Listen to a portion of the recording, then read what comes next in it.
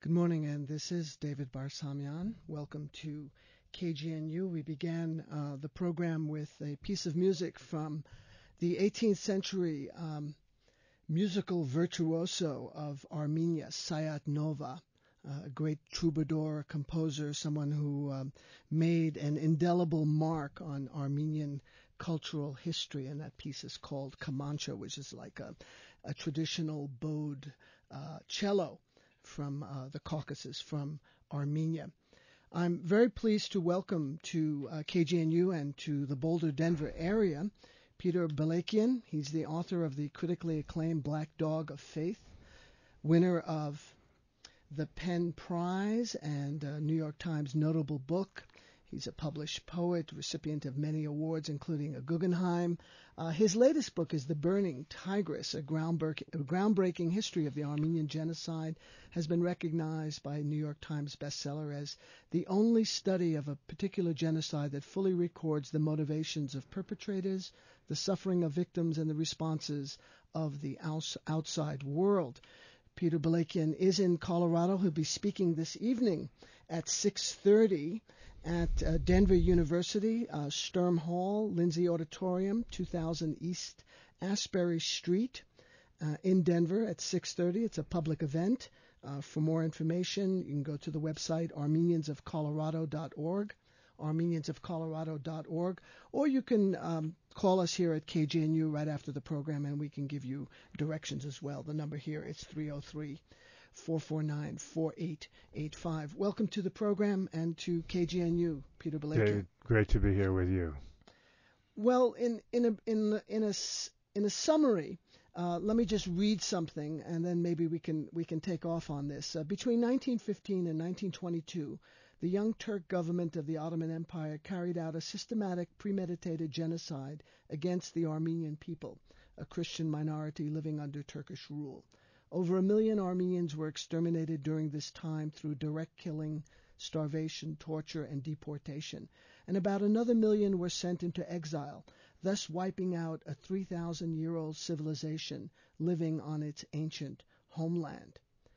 Despite these indisputable, indisputable and uncontroversial uh, historical facts, I mean, the amount of do- documentation is just staggering that uh, verifies this historical uh, genocide, the Turkish government has continued uh, to deny the genocide of the Armenians. And that, of course, is a part of the topic of your latest book, The Burning Tigris. I mean, you know, a genocide is not like a traffic accident where you know two people say, well, you know, he you know he didn't put on his blinker and he was turning left, and the other person, no, he's turning right. I mean, we're talking about mass murder on a huge scale. How do you deny a genocide? Well, you know, I think it's uh, somehow congruent with the fact that the perpetrators at the time were denying what they were doing.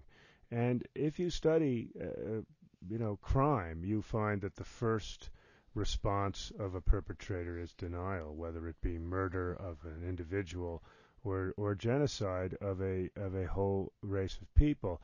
I think it's probably safe to say that if the uh, Nazis had won World War II, we would know very little about the extermination of the Jews of Europe because perpetrators want to conceal and deny. What's so astonishing and appalling, of course, about the aftermath of the Armenian genocide is that the Turkish government has continued to cover up this crime against humanity, try to absolve itself of responsibility, has has blamed the victims, has created a counterfeit reality, and that this has been generated by a state, you know, and a, and a client state of the United States. Uh, and of course, what happens in denial is that a, a, the perpetrator culture begins to socialize its people into believing a counterfeit version of history. And so if you continue, and this is nothing nothing less than brainwashing, in a way that we've seen brainwashing happen in China, we've seen it happen in Stalin's Russia, we saw it happen in Nazi Germany. The Turkish government does the same thing. So they've brainwashed uh, uh, their people uh, in a desperate act to try to cover this history up. And uh, that's tragic, of course.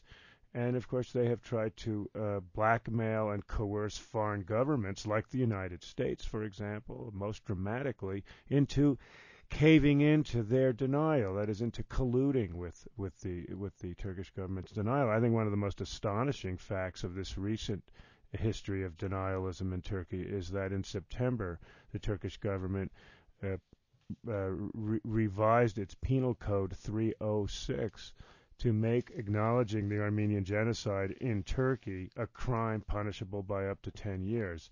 This strikes me as no way to uh, reach forward to the European Union and pretend that you're a democracy. The great Czech novelist uh, Milan Kundera has written The struggle of humankind against power is the struggle of memory against forgetting. And then he writes, this is in the 1970s. The bloody massacre in Bangladesh quickly covered over the memory of the Russian invasion of Czechoslovakia. The assassination of Allende drowned out the groans of Bangladesh. The war in the Sinai made people forget Allende. The Cambodian massacre made people forget Sinai. And so on and so forth until ultimately everything lets everything be forgotten. So talk about memory. Well, I think that um, yeah, uh, Kundera's statement is a is a powerful warning ab- about. Uh, I, am not as pessimistic as he is, and I, I, I mean, there's almost something uh, despairing, you know, about that statement. But it's a powerful moral reminder that memory is in fact a moral issue. Memory is a moral reality. Uh, uh, many people know that Adolf Hitler said eight days before invading Poland in 1939, Who today, after all, speaks of the annihilation of the Armenians? Now, Hitler was inspired by the fact that less than two decades after what had been the greatest international human rights crime and catastrophe of the era, there had been virtual amnesia. And the fact that there, the Armenian genocide had been in some way washed down the amnesia hole by the late 30s emboldened Hitler. It, it gave him inspiration uh, uh, to proceed with his own ghastly a vision of race extermination that would entail the Jews, the Gypsies, and others. I mean, Hitler's mass killings were were hard to imagine.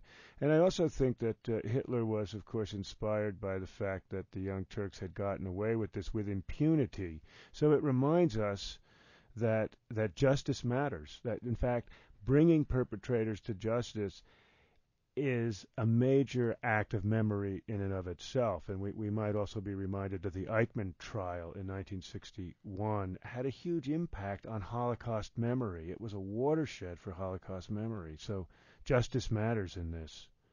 And very similar to the kind of terminology that the Nazis used, the leadership of the Turks at that time, uh, Enver Pasha, Talat Pasha, and Jamal. It was a triumphant, uh, a, a, a, troika that ruled the country. Uh, they called the Armenians a cancer, a bacteria. Uh, a right. people were reduced to a medical term. Right, right. Um, uh, you know, we see this parallel again with the Holocaust of, of scientizing and medicalizing, uh, uh, targeting a, a, a hated minority culture uh, and, and uh, spreading this ideology throughout the country so that ideology becomes an important part of how perpetrators mobilize their own culture to engage in wholesale massacre. You, you, need ideology, and what you're referring to is this medicalized ideology of a hated minority group as a necessary uh, evil to has to be wiped out is really part of this larger xenophobic nationalist ideology. Pan-Turkism is what it was called uh, in the Young Turk government's period of 1915, and the Nazis had their, you know, their Aryan race, super race ideology. These two moments in history have real parallels. So it's it's critical then to posit a Herrenvolk uh, kind of Übermenschen, a master race, versus the Untermenschen, some kind of an inferior race. Well, this happens, and I think in most ide- uh, most genocidal histories, you will find that there is race ideology that is demonizing a smaller, less powerful group and romanticizing a, a, a, the, the the ruling group or the group that wants to have ultimate power. Sure, I think, and I think issues of power are really important in understanding how genocide is able to proceed and evolve. Just to fast forward to 2004 and to today, uh, American generals in Iraq are referring to Fallujah as a cancer that must be eliminated. It's the it's the same kind of uh, medical uh, terminology to describe uh, uh, you know this particular right, problem. Right, it's horrifying. Uh, Stephen Kinzer is a fairly respected journalist, uh, and it's interesting. He's written a couple of books about uh, American history, the overthrow of the uh, Guatemalan uh, de- democracy in 1954, uh, and then a book, more recent book, on the overthrow of the Shah, in a, the overthrow of Mohammad Mossadegh in 1953 in a, a, democratically elected government in Iran. And he wrote an article in the New York Times, for which he continues to write, that Armenia never forgets. Maybe it should. And the gist of the article is that, well, you know, these people have been fixated on this one event in in the period of 1915 to 22. Maybe it's time to quote get over it. Well, you know, it's sort of surprising to hear from a, a person who who is a Jewish American and uh, I think has some some uh, deep passions about the Holocaust. Uh, Mr. Kinzer is a long story. Um, I could speak for a long time about my own encounters with him. Sadly, uh, he he is uh, he has written some some um, solid scholarly work on the Middle East, but his long tenure in Turkey clearly has made him uh, biased, uh, and he seems to have absorbed the Turkish government's a piece of the Turkish government's propaganda mill, and he's somebody who has not been able to write honestly, in my opinion, about the extermination of the Armenian people in 1915. He is a he's a kind of capitulator to Turkish denial. His reporting for the New York Times uh, really was not good. And um, I'm not sure he hasn't reported anything in a while, so maybe that means something the Armenian presence in its traditional homeland in, in eastern Anatolia and in the Caucasus uh, predates the arrival of the Turks by at least two millennia, by at least 2,000 years. And you know, I read the New York Times uh, every day and other magazines, and you know, they would they would write they write stories, you know, in the travel section. It's very revealing that you uh, you know read about these you know wonderful uh, monuments and places to visit in present day Turkey, and they never mention the past. The only thing that uh, is, only acknowledgement is that well, these might have been these were Byzantine uh, or early Christian monuments. Well, it's it's part of the. I was talking earlier about the brainwashing of a culture, the socializing of a culture, uh, to denying very horrific episodes in its own history. Now, Turkey clearly seems to me to be a place that disallows critical inquiry into its own past.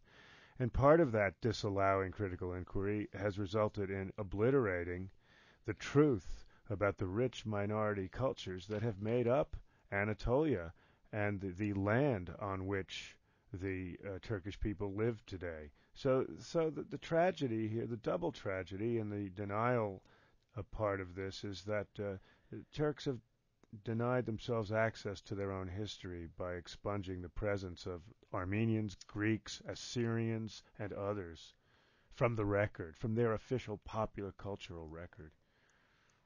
Uh, this is going to be hard for me to do, so bear with me. But uh, we're going to hear an excerpt uh, from my mother, who was a survivor, uh, speaking at a history class um, at the University of Colorado in Denver in 1986.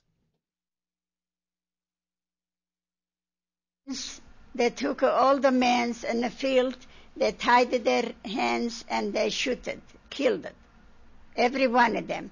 I remember they collect the only 15 years old boys left, just like this. They were sitting and their hands are tied back, and they took in the field. They shoot them too. Nothing left, only women and small children. We were in some Khalid in Aksorin. Marched, uh, deported. We deported in some city bare food, nothing to eat. They took everything from us. They say, we put in a church, when you come back, we'll give you back, which is not true. So we went to uh, some city. My aunt gave a birth. We, they left, she left her baby over there, and then we walk, walk, walk. So many, no water. I remember you, they, my mother used to the, her handkerchief in a, excuse me, horse uh, urine and wipe our ma- mouth. We were so dry. Just think that. Just think that. Um, that's my mother, Araxi Barsamian, speaking in Denver in 1986. Um, most of her uh, family was uh, wiped out. She managed on this deportation march uh, to get to Aleppo in uh, northern Syria. And um, I know you have a, a poem about uh, Aleppo from from your collection, Peter. It's interesting, uh, David, that our you know our, our, our, your mother, my grandmother, traveled this same road to Aleppo, as did many uh, Armenian women in 1915. Uh, this is called Road to Aleppo, 1915, and it's in my new new and selected poems, June Tree. It originally came out in a 1983 book called Sad Days of Light. A flame like a leaf eaten in the sun followed you. A white light rose higher than the mountain and singed the corner of your eye when you turned to find the screaming trees dissolving to the plain. Even when the sun dropped, the ground was heat and bayonets, and in the Turkish wind the throats of boys kept ringing in your ears. Your breath like horizon settled into black. You stuttered every mile to your daughter's shorter steps. The air almost gone filled inside your dress. And Ellis Island was the site of um, arrival for for many, for my father in 1912, and then uh, later when he went back to Beirut and in an arranged marriage uh, met my mother and brought her here in uh, 1921. You have a poem on this island in New York Harbor. This poem is simply called Ellis Island, and it's in the new section of my new and selected. And um, as you're noting, it's it is this uh, essential threshold in American culture. So many have passed through Ellis Island. Uh, certainly, survivors of the Armenian genocide. Ellis Island. The tide's a Bach cantata. The beach is the swollen neck of Isaac. The tide's a lamentation of white opals. The beach is free, the Coke machine rusted out. Here is everything you'll never need. Hemp cords, curry combs, jade and musk, a porcelain cup, a porcelain cup blown into the desert. Stockings that walked to Syria in 1915. On the rocks some ewes and rams graze in the outer dark. The manes of the shoreline undo your hair. A sapphire ring is fingerless.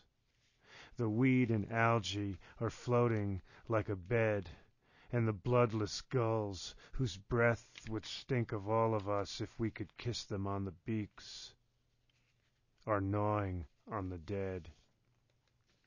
Well, you know, listening to my mother, here's an here's an eyewitness. Here's someone that you know, actually was there and saw it. And we have this testimony recorded. Nevertheless, uh, the Turks uh, have been somewhat successful in resisting reality. And as I suggested at the beginning of, of the interview, that this is not a this is no mean accomplishment. Uh, you know, this is this is quite an undertaking. Just think about the amount of time and energy it takes to repress and suppress something like that as opposed to doing something, you know, really creative and advancing a country and expanding and improving humanity.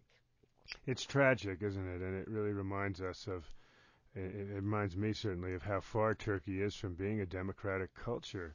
Uh, and yes, I mean, it, it, to deny the Armenian genocide consumes a good bit of Turkish psychic energy and, you know, state bureaucracy in a country that needs desperately to to be opening itself to democratic culture. For me, the you know the cornerstone of democratic culture is self-criticism.